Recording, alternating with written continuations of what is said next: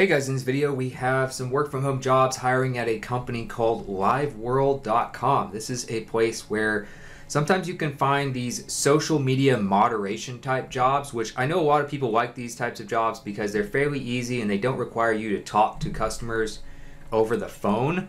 And a lot of times they don't require much in terms of requirements to apply as far as qualifications.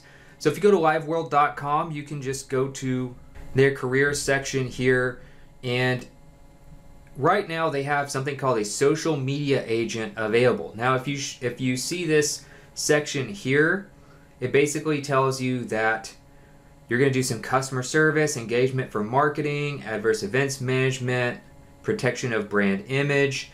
Agent provides a great experience for a brand's customers in their online venues. His position is hourly, part-time work at home and requires some flexibility. So if you feel like that is something you can handle, then you can just click the sign here and see what they have available. So for this job, it's a combination of moderation, customer service, kind of like a chat support type of thing. So you'll be basically chatting and also managing online communities. So you might have to remove some spam, you might have to deal with people who may, may not be following certain rules. You might have to escalate some things, uh, include rejecting or approving content, things like that. So, as far as what you're doing, that's kind of what it is. It's a combination of community management, moderation, and chat support. So, if you want something and you're more introverted, maybe you don't want to be on the phone with people all the time, this would be a great one to start with. So required skills and traits. I know the, the formatting of this job post is a little odd, so you'll just have to kind of bear with me, but I'll kind of section it off for you. The ability to connect with people and communicate in courteous conversational style while making decisions according to guidelines. And the ability to compose well written messages with use of good grammar and appropriate punctuation strong keyboard skills, ability to navigate between multiple systems or applications simultaneously, demonstrated personal or professional success engaging in a social channel. And then they have this section, which is recommended education and experience.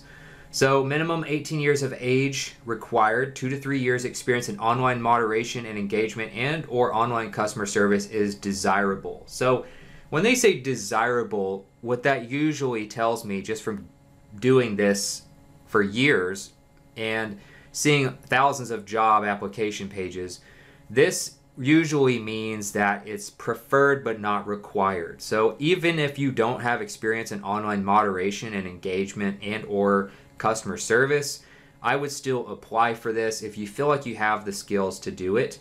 Um, or maybe you have some experience in other things that you think could translate, even though it's not directly correlated. I think you wish you should still apply.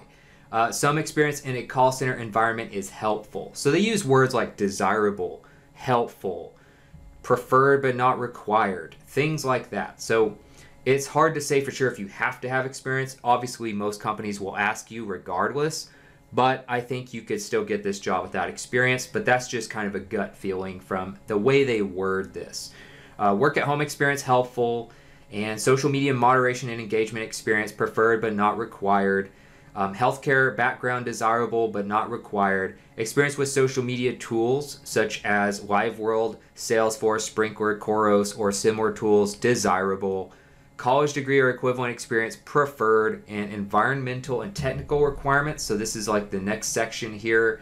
Um, dependable, high speed internet access, dependable telephone access, landline preferred for training ability to work in a quiet, secure home office atmosphere.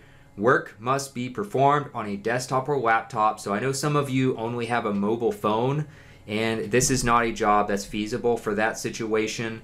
Also, they mention language fluency requirements. Now, mainly they just want you to be fluent in English. Some positions involve fluency in reading and writing in other languages, but language fluency testing and writing samples are a requirement for all hourly positions, English for all positions, and specific languages for some. So, LiveWorld defines fluency as complete competency in reading, writing, and speaking at a native or near native level. Now, they're recruiting US residents right now with fluency in the following language. So, if you're fluent in English, you notice that that's one of the options here. You don't have to necessarily know other languages, they're not requiring you to be multilingual. But if you know some of the other languages, you can still apply for this. Um, and they have lots of languages listed here. Um, also, you can enjoy some of these perks here. So, this is kind of the next section here work at home, flexible scheduling, dynamic environment, and fast paced social industry. Opportunity to learn new skills and further develop existing skills. Opportunity to learn within healthcare and non healthcare industries. And then typically you can hire you can get hired from the US or outside the US, but for this one they tell you right here they are not currently recruiting non-US applicants. So unfortunately, if you're outside the US, you're out of luck for this particular position. But if you are in the US, I think this could be a great job to check out right now, especially if you're looking for something part-time that's fairly easy. And again, you can go to liveworld.com slash careers to find it. As far as what it's like to work at Live World, obviously I like to see some information about the company when I recommend jobs, unless it's a very new company. But this one's been around for a while. Now we have a few different people who have disclosed how much they made. So I mentioned in the thumbnail of this video that this can pay up to $34 per hour. The reason I said that is because when I narrow it down to hourly rate, we have 16 people who submitted salaries as a, as a moderator, which is what this job is, and they averaged around $34 per hour. Now, a social media moderator, we had 12 people submit salaries and say they averaged $23 per hour. But then we also had an agent, five people submitted salaries and averaged $45 per hour. So it's a little bit all over the place. But if you kind of just average these out, you're still looking at around 30 to $34 an hour. And the one with the most salary submitted is the one that's right in the middle of those three. Now, as far as some of the others you see you know 20 25 30 dollars an hour for other ones but they don't have as much as many people that left feedback. So i'm just going based off of what other people have said that they made at this job. It's not entirely clear how much you'll make but should be in that general ballpark.